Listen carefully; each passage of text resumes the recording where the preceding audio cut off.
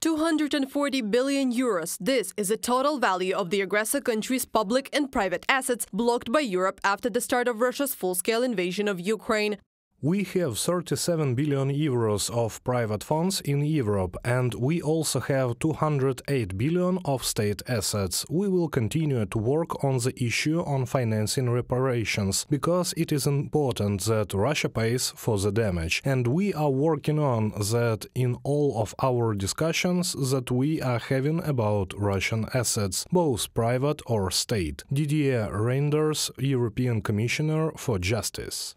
Brussels is working on a mechanism that would allow frozen Russian funds to be used to help Ukraine. However, Moscow's partners are demanding that the EU abandon plans to confiscate Russian state assets. The Kremlin could ask China, Saudi Arabia and Indonesia to lobby for its interest. A senior diplomat from a non-EU state said on condition of anonymity. These countries are very skeptical about the idea. The concern is this would create a precedent. In other words, these countries would fear they could be next to lose out. As much as fearing a precedent, they could be acting on Putin's behalf and not wanting the EU to help Ukraine on the battlefield. From Politico, citing an anonymous source. Ukraine considers full confiscation of Russian assets a broad fair. The country needs stability and predictability, regardless of political fluctuations in the world, Ukrainian Prime Minister Denis Shmyhal has said. Europe is not yet ready for a full seizure of Russian funds, but is seriously talking about handing over to Ukraine the interests generated by Russian assets in Western banks and depositories. Over the past two years of Russian full-scale aggression against Ukraine, these revenues have totaled about 4 billion euros. Kyiv could receive the first tranche between 2 and 3 billion as early as July 2024.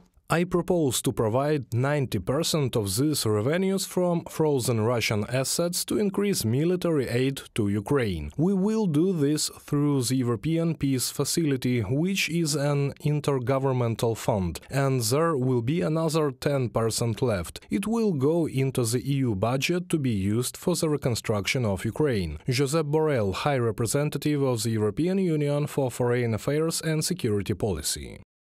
Ukraine wants to use the frozen Russian money both for military needs and as reparations. For the second one, it is necessary to create a special compensation mechanism. On April 2, 2024, the International Register of Damage caused to Ukraine by Russian aggression was launched. It is already collecting and systemizing information on the damage. The next step is to set up a compensation commission.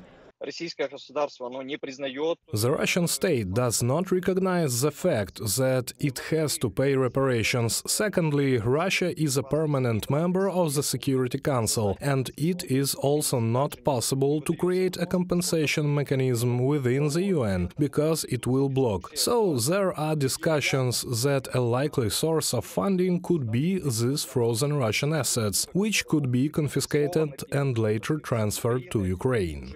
The United States of America is also looking for a way to make Russia pay for its aggression. A bill that would allow the confiscation of 5 to 8 billion dollars of Russian assets has been approved by committees of the US House of Representatives and Senate. Congress will soon pass the document to President Joe Biden for consideration. Reported by Anastasia Tarnavska, Valeria Nekapelova, UATV News.